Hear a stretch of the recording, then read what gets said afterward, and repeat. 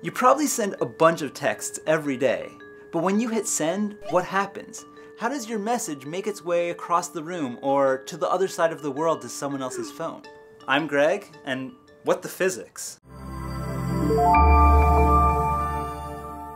To send a message out of your phone, electricity from your battery jiggles electrons in the antenna of your phone, giving off a kind of light. Not visible light like the filament of a light bulb gives off, but longer wavelengths, radio waves, which can be thought of as invisible light. So how does that invisible light encode your message? Well, how would you do it with a flashlight? Maybe you would shine it on and off with some sort of code like Morse code, dots and dashes, or ones and zeros, binary. When your phone sends the letter U, it turns it into 01010101. Or the message, why don't we text in binary, is this.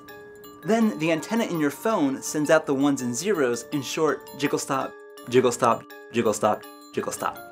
Where does the light encoding your message go? Straight to your friend's phone? To a satellite? Nope, the antenna in your phone is too tiny, and it can only send the message a few miles. So to where? You may have never noticed them before, but if you keep your eyes open, you might spot some of these strange fake trees. Have you ever wondered why it's called a cell phone?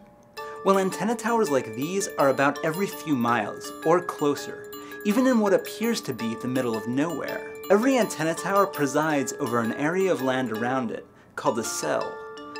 These cells divide our land, and when you send a text from inside a cell, a sphere of invisible light emanates outward from your phone to an antenna tower, jiggling its electrons and transferring the message.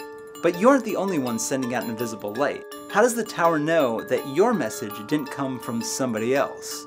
Like all light, visible and invisible, radio waves come in different frequencies. For visible light, that's different colors.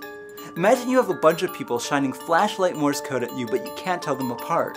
If you tell one person only shine in red, and another person only shine in green, then you can distinguish them.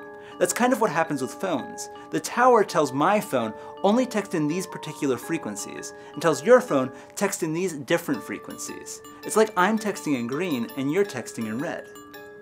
And all across cities and towns, spheres of different frequencies are emanating outward from phones. Now your cell tower knows your message came from you and it needs to send it to your friend. But how does it know where your friend is? Well, you might as well call it a brain cell, because it's connected to all the other cells through a network of computers that knows all.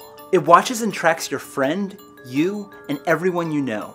Whenever your phone's on, wherever you go, the big computer brain of your cellular network knows. Your friend is in this cell. And to relay the message to them, the big computer brain sends the message through cables to their cell where now everything happens in reverse. That cell tower sends out a particular frequency to your friend's phone, those radio waves jiggle their antenna, that becomes zeros and ones, which are translated into the message. And that's what happens when you send a text.